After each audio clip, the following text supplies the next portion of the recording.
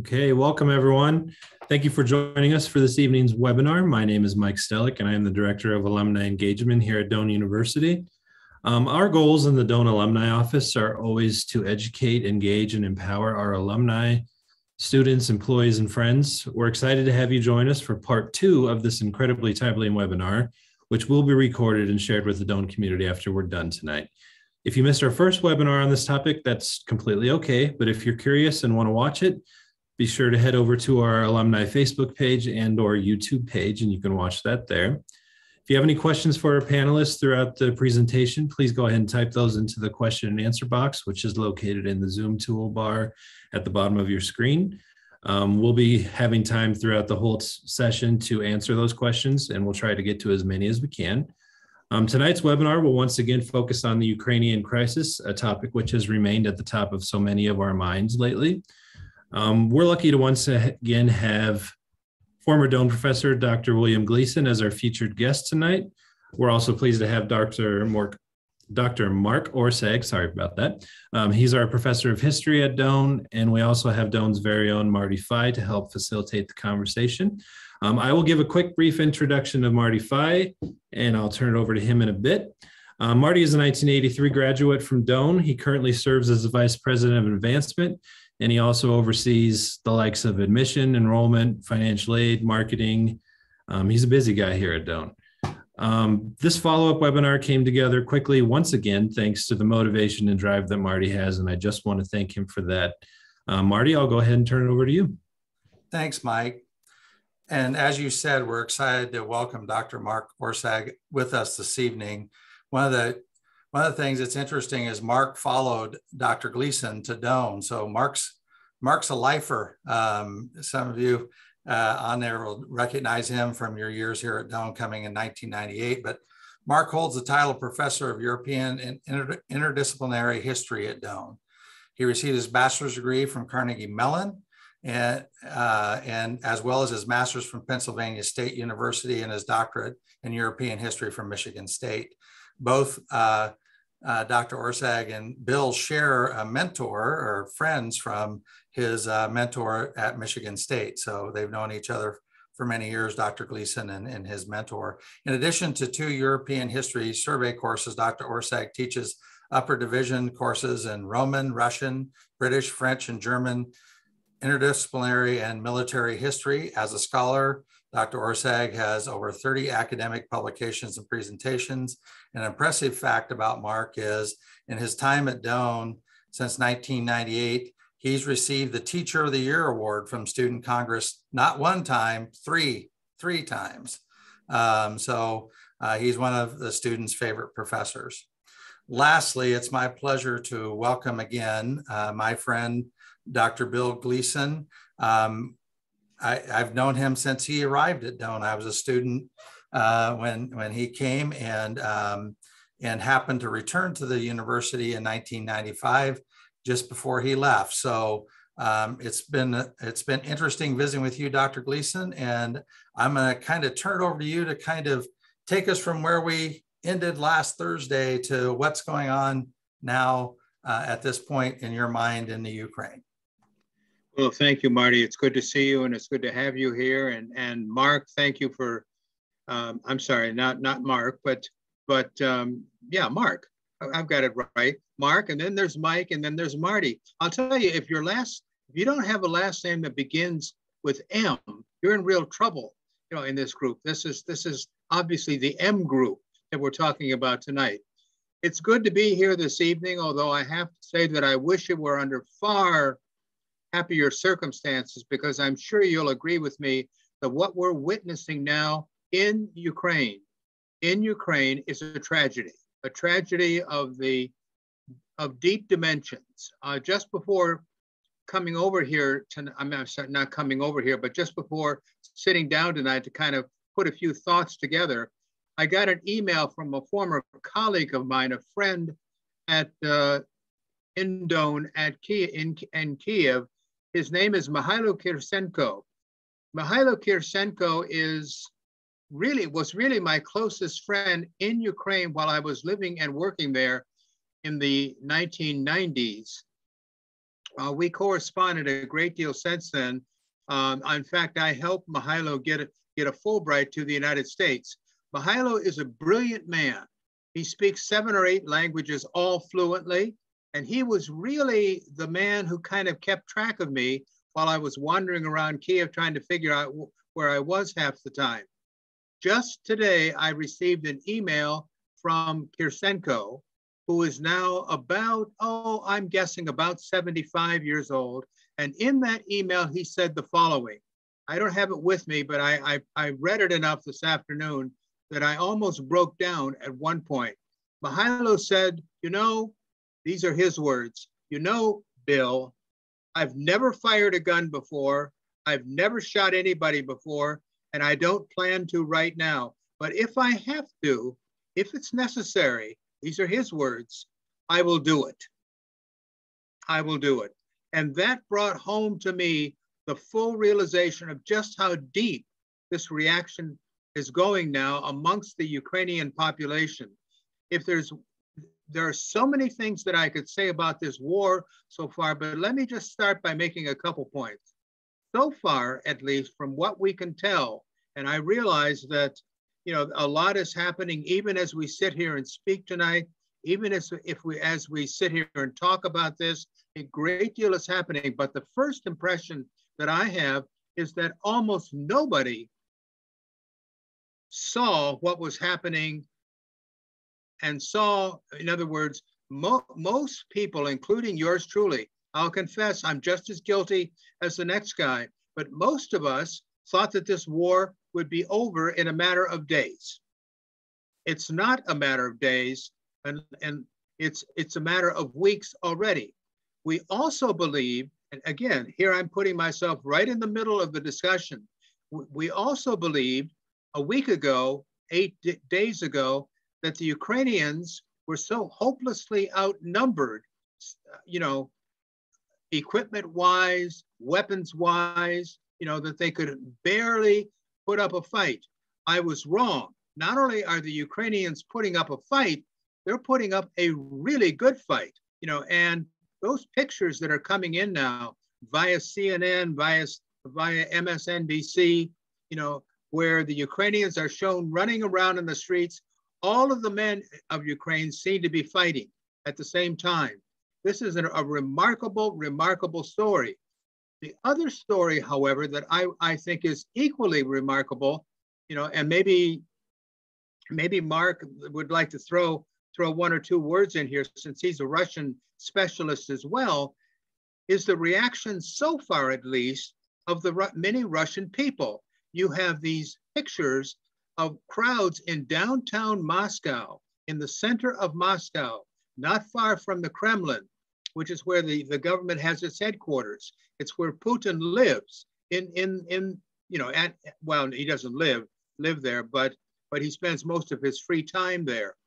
What strikes me is that many, many Russians have a lot of questions about what the hell is happening here.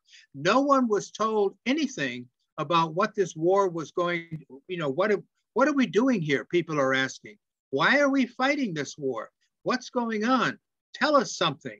This is the, the answer that we're getting over and over and over, both from the Ukrainian people on the Ukrainian side and the, from the Russian people on the Russian side. In other words, what we seem to have on our hands is a war that nobody understands, nobody has explained, Nobody knows what the hell is going on, and no one certainly knows how it's going to turn out.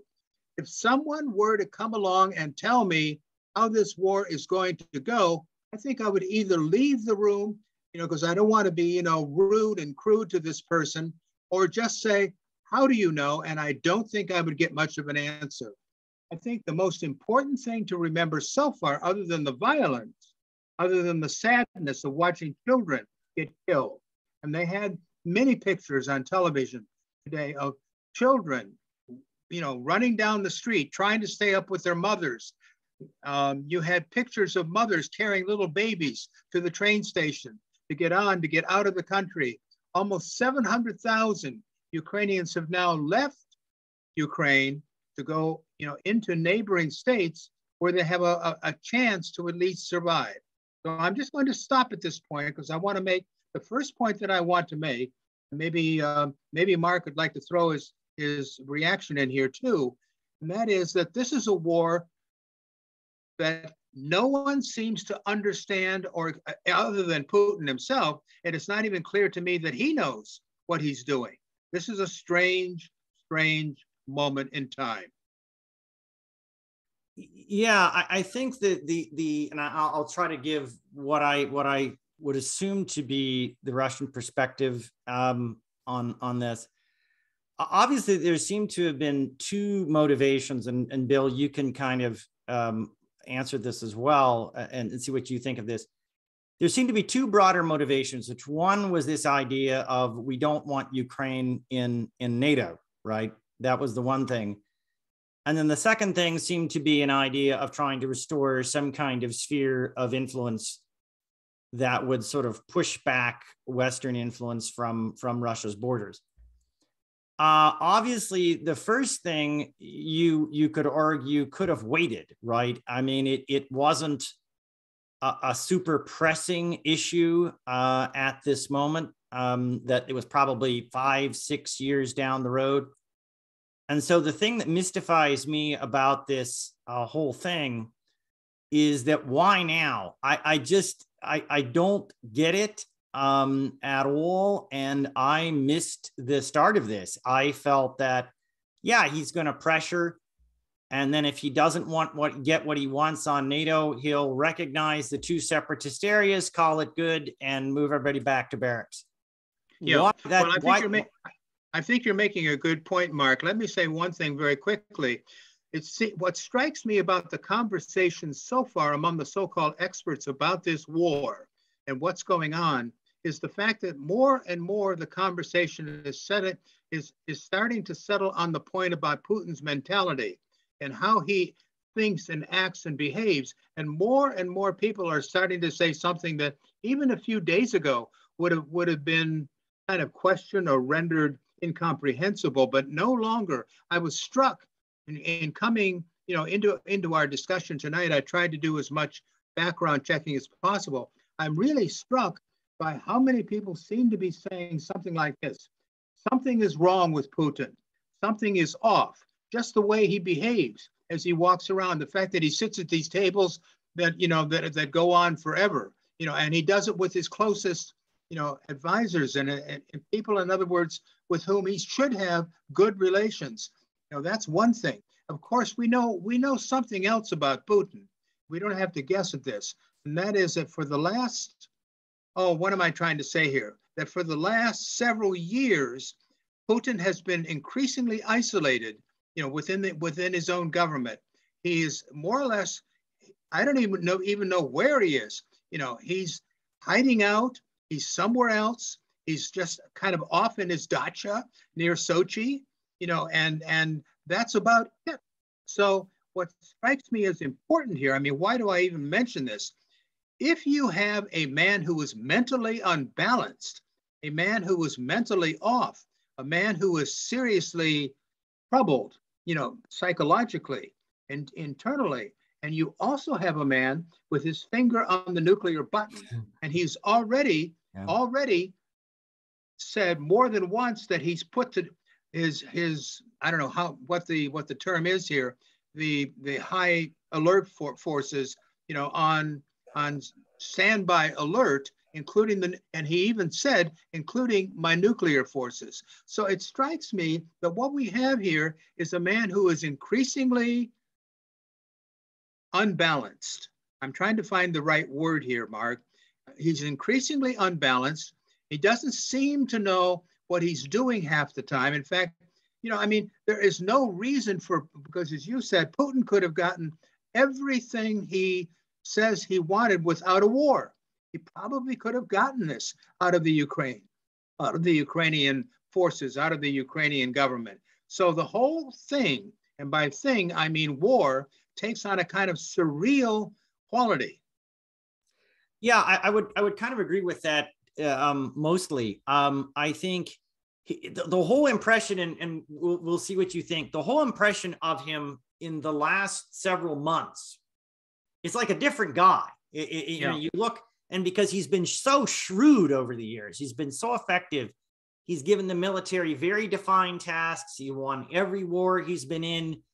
And now he gives them this really huge, very undefined task for reasons that don't seem immediate. Like you, you, you don't know why he has chosen to do this at this point. It just seems very counterproductive. And back to your point of on what happens here, I too, it's like, who knows? Um, even if he prevails in the end, um, this seems like an inc- just a crazy, risky thing to do for no immediately compelling reason that I can understand.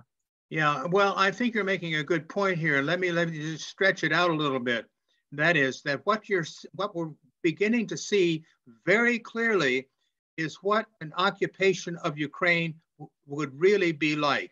You know, the Ukrainians have not are not only fighting well, I mean, they're doing pretty good on, you know, running around with Molotov cocktails, you know, with with rifles that have been given them, you know, by the by the authorities.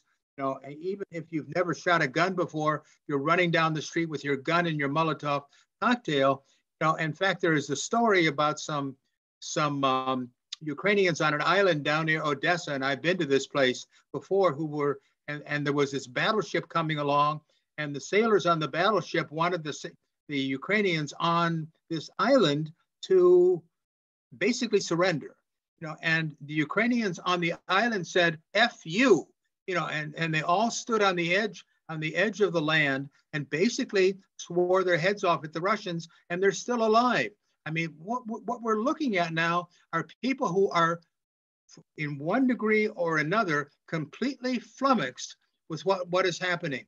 Ukrainians don't know what to think, don't know what to believe. They only know that a lot of them are being killed right out, right on the spot, you know. And you Russians, I mean, we've had stories of Russian tanks that are out of gas, that are out of equipment, that are, are stuck on the road, that are trying to get back to Russia. There was a story yesterday which I thought was rather both rather telling and rather amusing. And that is that there was a tank, a Russian tank, somewhere near somewhere down in southeastern Ukraine. Um, and it, it pulled up in a neighborhood and, and some, some Russian soldiers got out of the tank and asked some people who were walking along the street where the hell they were. And when they were told where the hell they were, they climbed back in the tank and said, we're going back to Russia. Now tell me that this is an army that's ready to run an occupation. Tell me. And I can't for the life of me begin to imagine what an occupation of, of Ukraine would be like under the Russians, at least at this point. You know, I find it, I, I really struggle to find, find words to describe what I'm thinking or feeling or what I, I think might, might happen. Now, I grant you that the militarily, things are probably still on the side of the Russians simply because they have so many tanks so many soldiers, so many, you know, killing equipment, so much killing equipment. But even there, I begin to wonder, well, maybe if all the tanks run out of gas, you know, they won't be able to go anywhere. Maybe the tanks have no idea where they're going to begin with. In other words, the whole thing seems to break down, you know, and again, let's go back to the, to the point that we're making about the Russian objective, you know, in Ukraine. What is the Russian objective? to, to decapitate the Ukrainian government, and they, they want to find Zelensky. And I want to say a thing or two about the Ukrainian president, who, in my opinion, of all the people involved in this war, he emerges as probably the most interesting and the most telling, and, and probably my, the hero of the hour, you know, in Ukraine, Zelensky, the Ukrainian president. You know, but so I guess what I'm trying to say here is that no matter where you go in Ukraine today, you find people who are simply confused, flummoxed. They have no idea what's going to happen next. And what that tells me, Mark, is that anything could happen next. Anything. I want to go ahead and, and read a couple questions from the chat, Bill. And uh, um, some of these we've already kind of covered. Okay. Um, so uh, there's a question about uh, children with disabilities Um, and uh, the the question the question here is, um, does Putin have a Hitler-esque view of disabled children and people? Yeah, that's a good question, but unfortunately, I can't answer it because I just don't know. Um, they, you know, there are hospitals, there are care facilities in, in Ukraine. Ukraine is is a modern country in uh, in that sense, um, but I don't know about disabled children if they if they have facilities for that particular issue or that particular problem. I'm sorry. And then there's another one here, Bill. Um, are, are we heading toward another Cold War? And and once you're done, I'd like to jump in on that one as well. Sure. I think we're not only heading for another Cold War, I think we're in another Cold War. I don't think there's any question that, I mean, look what we're talking about here. Thousands have been killed, tens of thousands have fled the country. I mean, Ukraine is a total mess. You know, buildings, buildings have been blown up no matter where you look. The, the fighting tonight, even as we sit here and discuss it, is horrendous, according to everything that I've seen. The Russians are advancing on Kiev, you know, and they'll probably destroy it if they have any chance at all, unless there's an uprising, you know, of the Russian population against Putin you know, against the Russian leadership. That's the one thing that I kind of hold out, but not too high above my head, that I hold out as a possible, I don't quite know how to how to say it, as a possible out, you know, for these people. Yeah, um, a Cold War. I, I, I would say, yeah, we're in it already. Um, I would say we've probably been in it with, and you can talk about a Cold War with China too, obviously. But sure. um, a Cold War with Russia probably since 2008, um, yes. when yes. Uh, you had the United States recognize Kosovo and then Russia uh, invade Georgia, which I think were two very linked. Um, well, and let's events. let's not forget let's not forget Crimea, you know, and the Donbass too, because in that 2014, in 2014. Right, yeah. Yeah, yeah. And by the way, by the way, I was in Kiev during the Maidan, during the uprising okay. in, in 2014. I mean, I was actually there in connection with my work at the State Department. Um, and I stood in a crowd of a million people in downtown Kiev who were calling for the ouster of Viktor Yanukovych, who was the pro-Russian stooge who, who tried to run the country for a couple years and then ran away and is now living in Moscow somewhere. Uh, and then there's another one here, Bill. Um, consensus seems to be that an occupation of Ukraine is not feasible assuming that the Ukrainian government does fall, are there any groups within Ukraine who might be so inclined as to cooperate with Russia in the formation of a new government?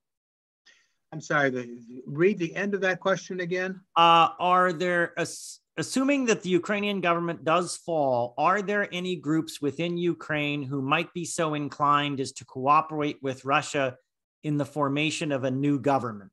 Yeah, and the answer to that question is yes, there are groups in Ukraine who would be willing to cooperate with a pro-Russian government. Let's remember, you know, that there were people in Ukraine before all this happened. There were people in Ukraine, particularly in eastern Ukraine, over by the Donbass, who were kind of pro-Putin, pro-Russia. I don't mean that they were ready to go out and fight, you know, but they their political values were conservative, almost Soviet-like, you know, in certain ways. In fact, the Donbass has long had a reputation in Ukraine as being the most conservative pro Soviet group in the country. And I used to go down there a lot because one of the things that I, I did, and I don't know if I ever told you about this, Mark, but one of the things that I did, I was the director of the Fulbright program for Ukraine there for about six years. And so I'd go running around the country trying to find people who were interested in applying for a Fulbright. And one of the places I used to go was the Donbass. I used to go down to Donetsk. I never got over to Luhansk, which is way over, mm. you know, mm. eastern Ukraine. You know, but I, I so I would go down to this part of Ukraine, and I would have conversations with people sitting in deans with deans sitting in their office with a picture of Lenin, you know, up on the on the ceiling somewhere. And I st- after a while, I started to ask myself, what are these people trying to tell me? What are they trying to say? Are they trying to say that the, the collapse of the Soviet Union, you know, was was was stupid and uh, and fraudulent and so forth? Of course, that's what Putin believed, you know, at the time. So there are people, to, I'm running away from the question here, but let me, so let me summarize. There are people in Ukraine who will, I think, be available for help with a pro-Russia group. Yes. Yeah, I would I would tend to concur with that and I think you can kind of see this reflected a little bit in the way that the war is going. Yes. Uh, the, the war is going better for Ukraine where you think it would be, which is up north. And the war is going much better for Russia where you think it would be, would be which would be down south. And that sort of there's a there's a kind of line that runs through it. You know, the, the northwest is very very very anti-Russian pro-Ukrainian, pro-Western. The the more southeast you go, the more pro-Russian you get. Yeah, again, I, I had all of these little experiences. You know, it's Ukraine is a big country with a lot of different groups and a lot of different people, and they're kind of all over the place. But one thing needs to be said here, Mark, and I maybe I should have made this point a little earlier. The one thing that Putin has done for Ukraine is to unite mm-hmm. most Ukrainians against him and against the Russian government. So I have to kind of qualify what I just said in my answer to the other question. There may be groups in Ukraine who are willing to work with the Russians in forming a new government, but there aren't a lot. And the, and the group is getting smaller by the day. Um, let me see here. Um, who there's one there's another one here that we talked about already um, who is in place to replace putin if i guess it, the, the, the implication is if putin is somehow ousted uh, and how could that happen boy that's a good question i wish yeah. i had some answer to give you i'm afraid i don't you know his his sidekick he used to be the president of ukraine for a year or two medvedev okay remember him you know he met met with uh, uh, uh well, okay, I'm trying to remember who who we met with, but and he speaks good English. He's smart. He probably he has some experience in government. I don't know if the Putin group, groups would ever accept him as the new leader. It's hard to say. I don't have any other names to, to give you. Uh, one of the things that Putin has done is to, is to get rid of anybody and everybody who, you know, who, who upsets him, which is just about everybody in the end. I mean, Putin really is isolated now, psychologically and politically. So I have no idea who might come along and replace him and or step step into his shoes or do something like that. I just don't. Yeah, I, will jump in on that one. I, I think again he's unlikely to get replaced. I think um, unless this just goes really, really, really badly. Um, you could possibly see a general stepping in. You could possibly see an oligarch stepping in. Um, uh, Dmitry Medvedev might might be the guy you talk about. Bill would be maybe, in a certain sense, the logical successor, but I don't think he's respected within the Russian political elite. He's seen as too weak. Right. So um, my guess it would be be maybe a general or or one of the oligarchs, but I, I do think we're we're a long, long way from that uh, happening at this point. Um, yeah, and the other thing to be said here, which is what I just said, one of the the aspects of Putin's rule has been the elimination of anybody and everybody who posed any real threat to him or any alternative to him, even.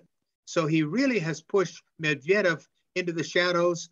I, I noticed that the other day that Medvedev was sitting around the council table, you know, and he wasn't moving, he wasn't looking right or left. And I thought, boy, here was a man who came pretty close to replacing Putin a couple years ago, and he was out of it, Medvedev. Uh, the couple questions that I'll kind of combine here. Um, so, uh, what is the um, what are the chances, Bill, that you think that Zelensky's emergency application to become a member of the EU uh, what are the chances of that being accepted? Boy, that's a tough one. That's a tough one. Um, I'd like to say that there's there's more than a decent chance that something like this could happen.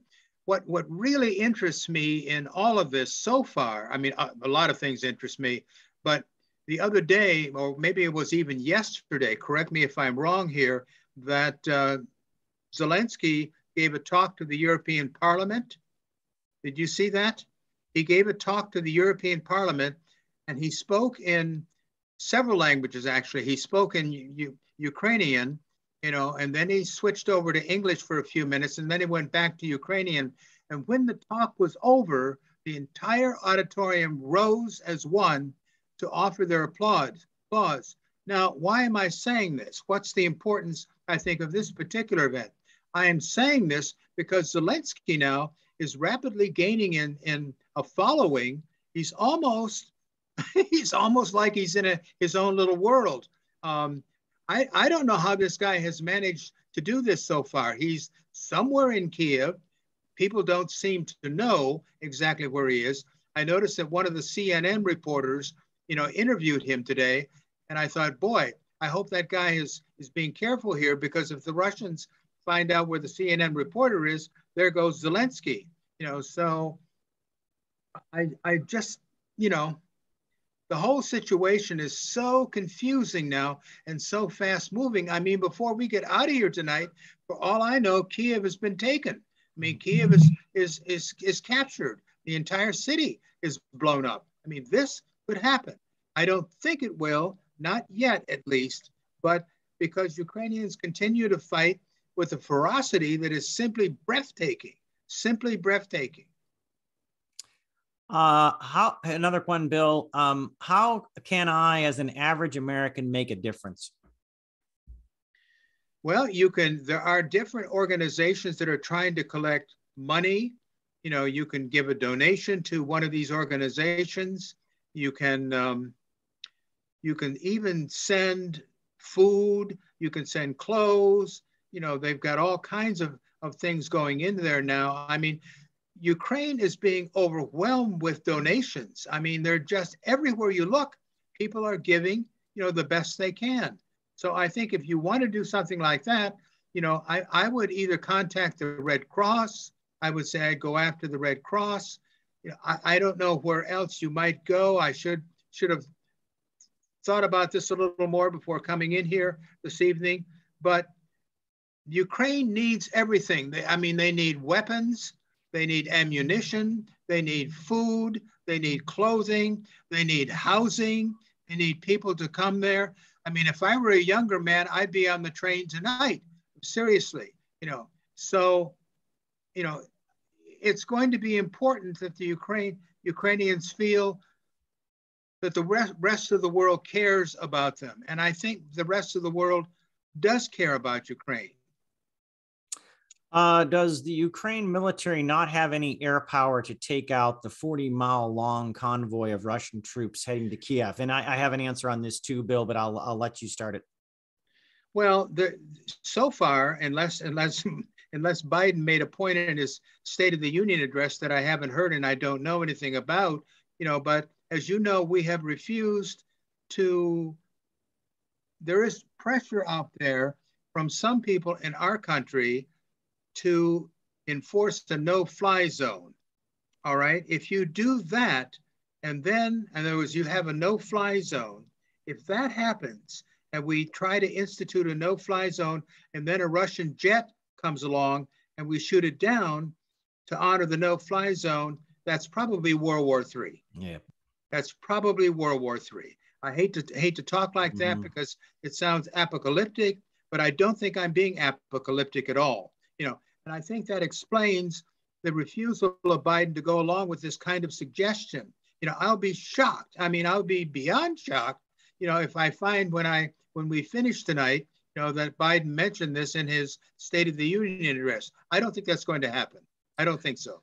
No, I, I, I, I would agree with that. I think obviously, if you try to enforce a no-fly zone, then you have to deal with the S four hundred and S five hundred um, air right, defense right. systems that the Russians have, which are very deadly, and you have to fight their planes, and that would probably mean a nuclear war. I, I, I don't think that that is going to uh, that anybody's going to do that the Ukrainians um, have uh, jets. They had uh, somewhere around 100 um, jets at the start of this, and they have a lot of uh, the Bayraktar drones that they bought from uh, Turkey Um, yeah. And yeah. Uh, a lot of those obviously were taken out uh, very early by the Russians. Um, uh, and I, but then they were able to uh, probably hide some jets in bunkered hangars in the West. I mean, I don't, I'm speculating here a little bit.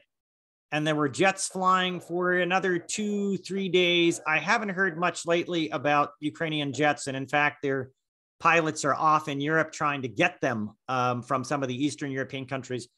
So I imagine those have been destroyed now by the Russians, but they are still flying the the the Bayraktar drones, um, which don't require much of a runway, so that even if the Russians bomb the airfields, they're able to take those things off, and they probably got a lot of those taken out too.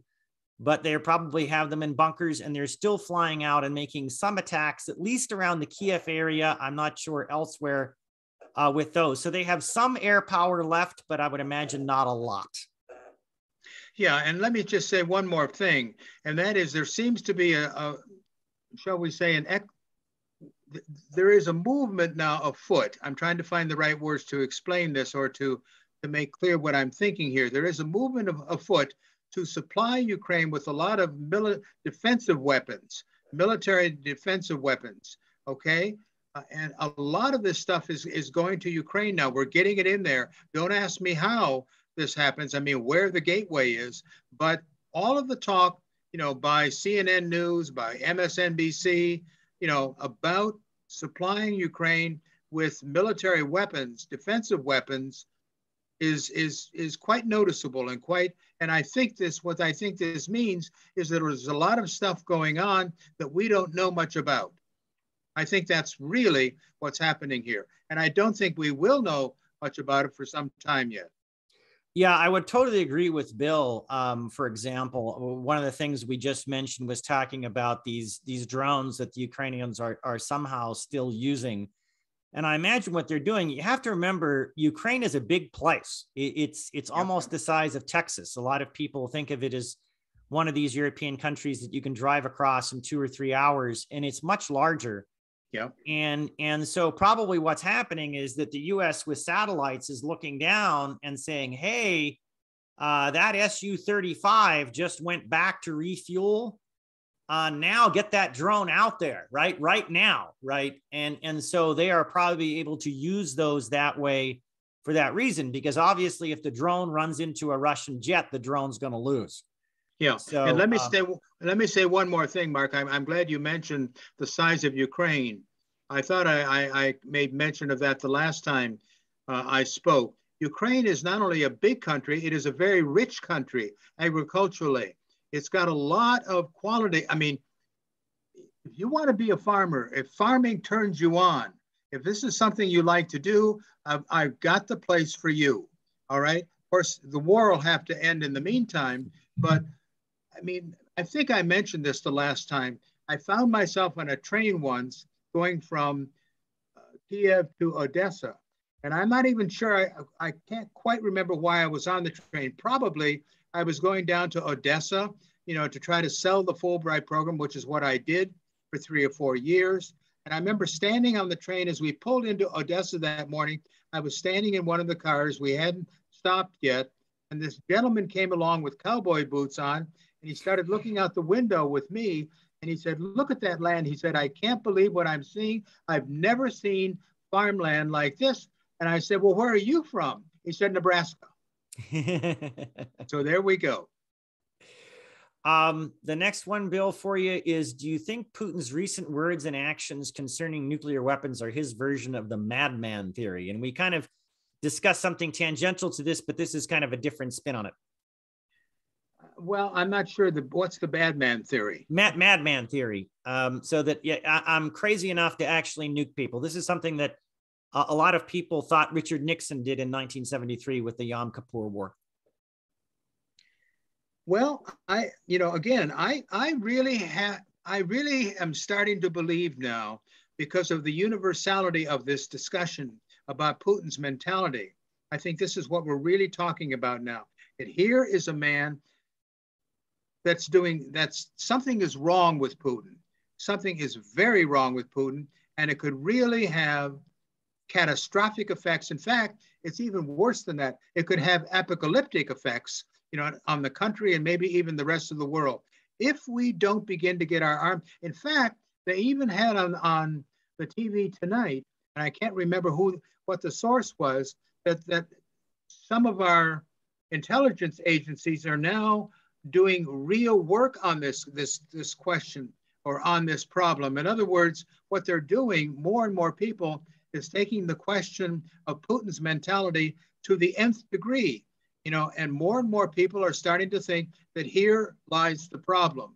Here is the problem that we're all facing. And until we deal with that issue, Putin's mentality, the war will go one way or the other, but it certainly won't be very good. And I find this very interesting. Who would have guessed eight days ago, nine days ago, that we would be down to talking about Putin's mentality? I don't think so. Everyone seemed to think that Putin was this brilliant kind of, you know, I, am trying to find the right word here, you know, to describe Putin. Machiavellian. Machiavellian. Yeah. yeah. Machiavellian. Perfect. He's no longer that that kind of term terminology is no longer being applied to Putin. Instead, the what's being applied are terms like insane, sanity. You know, he's off. I noticed just the way he sits. You know, is, is something wrong with him? I noticed. I listened to his talk a week ago in which he tried to explain the war to, you know, to the Russian people. He stumbled.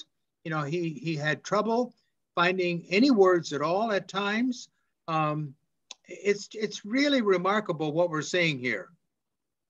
Yeah, and I, I know I, I saw a, a, a tweet from uh, Marco Rubio actually that said mm-hmm. something along these lines that said essentially if people who are expecting to uh, Putin of today to behave like the Putin of five uh, five years ago are are going to be sadly mistaken. So, you know, heck, they may know something that we don't um, uh, on this, but I agree he even looks physically different. I mean, he's been always this really fit guy, and now he looks kind of puffy and just strange. And I I don't know what really is going on with him.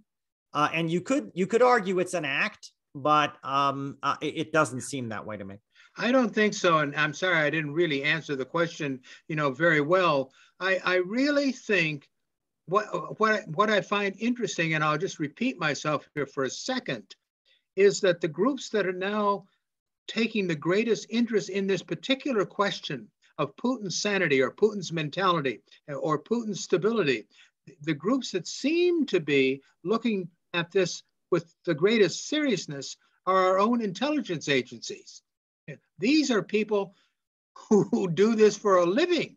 You know, in other words, you've got psychologists or psychiatrists running around the West, running around the United States, probably trying to figure out the answer to the question do we have a madman on our hands? And what does that mean for the war? What does that mean for the rest of us? This may be the biggest question of all. Uh, another question here, uh, Bill. Um, uh, how long can the Russian economy take a beating uh, due to Western sanctions? Boy, not very long. I mean, they've closed the stock market now. The Russian stock market hasn't been open for a long, long time. The ruble has you know, done a nosedive against the dollar. You know, I mean, when you think about it, the Russian economy is almost in a state of utter collapse. You know, and how far this goes, or where where it goes, or or where we wind up in a, in a couple days. I mean, this is happening very fast. You know, and let's remember the people around Putin are the oligarchs who depend very much on a nice big sum of money, thank you, you know, every once in a while like several million dollars every once in a while to keep themselves going. So I think the answer to the question is the Russian economy is in deep in a deep dive, and I'm not sure it's got much. The time is running out on the Russian economy. It sounds terrible to me. Yeah, I, would probably throw in a, a, slight bit of difference. He does have uh, obviously huge reserves. Uh, I know the Europeans claim to have frozen some of those. Uh, I'm not an economist, so I, I, don't know what that actually would mean. So th- there, there may be longer. You also, of course, have to worry about what the Chinese do in the situation, which is obviously well. That's another story, factor. though. But that's another yeah. issue. Yeah, right. the whole question of China, we haven't touched on that yet. In fact, there's, you know, I mean, that would be a good question for me, you know, or for you or for us You know, what does the impact? In fact, I think the, the whole question of China and Russia now comes into play. I, I, am not sure the Chinese have decided how they want to handle this or what they want to do. They seem to be very quiet lately. They haven't said much. You know, they've kept sort of out of the picture. You know, they, they don't want to get caught up in, in some kind of a mess, you know, with Washington at this point. I don't think Putin has any outs as far as China is concerned. In other words, I don't think Putin is going to hop on a plane at some point and step off in Beijing, you know, because the Chinese like him. The Chinese don't want, you know, a, a man like Putin hanging around because he's kind of warped to begin with now. So I, I think that, I really think that the economy, with the possible exception of a few thousand drones, is really in trouble. Yeah, I, I, I, I'm, I guess I'm a little, little less convinced of that at this point, but I think we'll just kind of have to see, uh, you know, how things play out. Um, I think this could go on longer. Uh, I, I think it could drag for for some time, um, but it, it, time will tell. Uh, and often sanctions take a while to work. Um, you know, they've had SWIFT on Iran for a very long time, and that obviously hasn't caused the collapse of that regime. So right. I, am I'm always careful about expecting very quick results from from sanctions. You know, but but but but let's remember one thing, Mark. Look how fast things have moved. You know, as far as the as far as the you know the, the money the economy is concerned. I mean, this has been happening very rapidly. What strikes me about the entire war is how fast things are happening, how fast things are changing. And, and one more point, and I should have said this at the very beginning. The thing that, that strikes me the most about from the Ukrainian perspective is the remarkable behavior, the remarkable quality that Zelensky has come to represent, you know, about, you know, about the Ukrainians. You know, he has turned into one of the most incredible people that I've ever ever seen or very heard or ever heard. I mean, he's just think about it for a second. Here's a man who he's 44 years old now. He's got a couple kids. Okay. Um, he was a, a TV actor. He was he was a TV actor who used to do some, and he was in a play or in I don't know if it was a play or whatever in which he played the part of the Ukrainian president. Then he decided that he, he might as well do the real thing. So he went out and beat the hell out of Poroshenko, who was the previous president. And now he steps into office in the middle of a crisis. And what we have now is a crisis that has become the birthplace of Zelensky's heroism. I mean, he really is. People cannot imagine, you know, this happening without the the um, qualities of the war. But I think it's true that Zelensky has really turned out to be an incredible person, an incredible leader, and someone who will always be remembered no matter what happens beyond this point.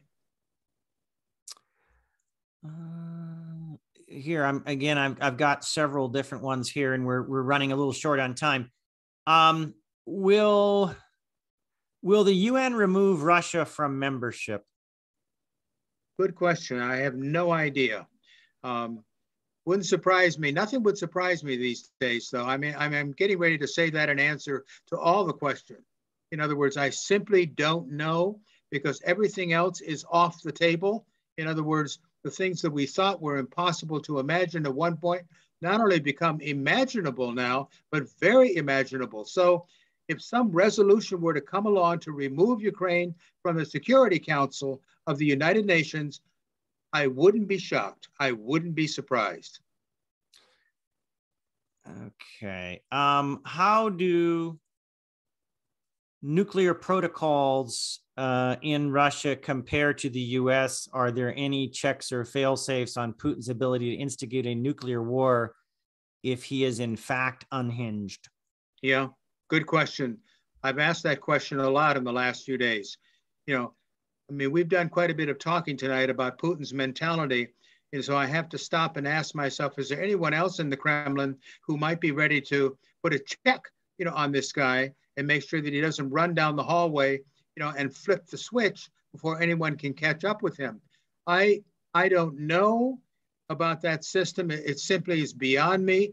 I know what you're talking about. I'm talking about thinking about the movie Failsafe, you know, where this pilot goes off, you know, and the technology breaks down and they can't get the pilot back who's flying a nuclear bomb into Russia. That, that by the way, that movie, Failsafe, if you ever want to watch a scary movie that is very well done, stars Henry Fonda, you know, in the movie Failsafe, then watch it.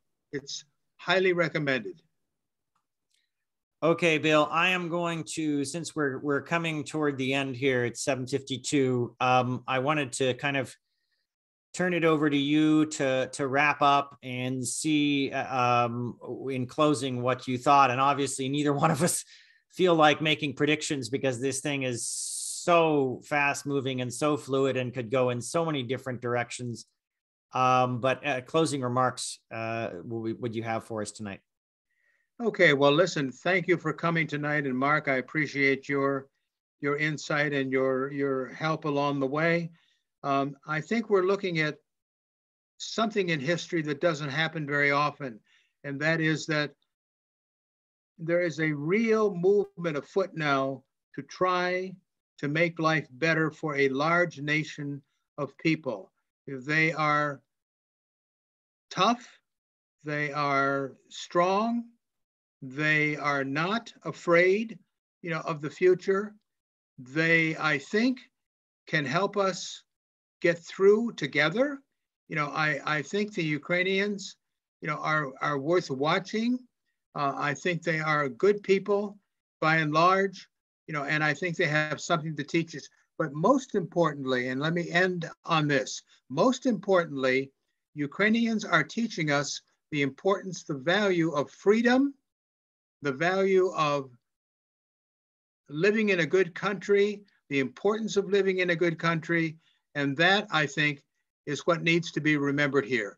Ukraine is a country that came along in the collapse of the Soviet Union, you know, and look where they are 30 years later. It's remarkable. Thank you, Bill and Mark, for another wonderful evening.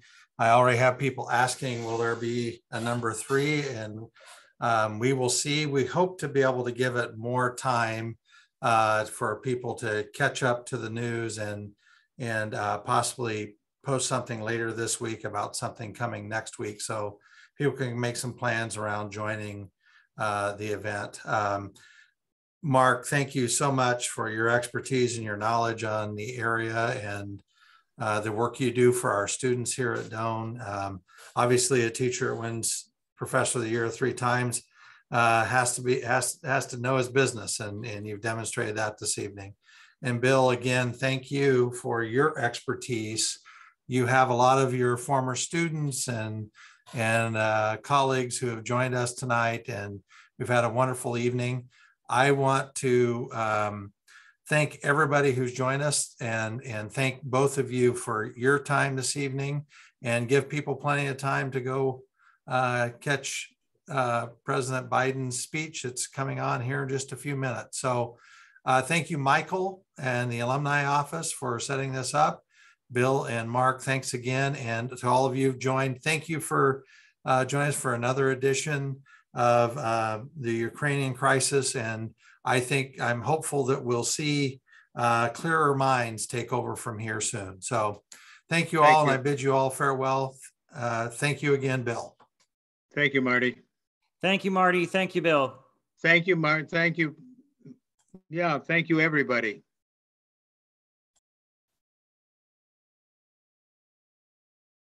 Thank, thank you, Mark.